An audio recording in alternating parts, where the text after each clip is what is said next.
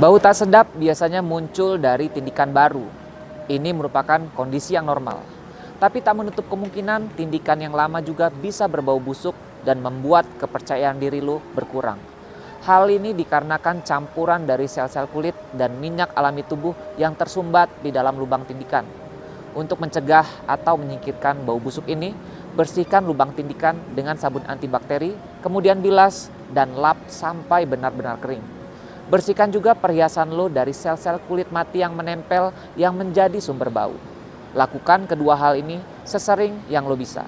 Gue Nio dari Piercing Indonesia. Kalau ada pertanyaan, silakan komen di bawah dan sampai jumpa di video berikutnya.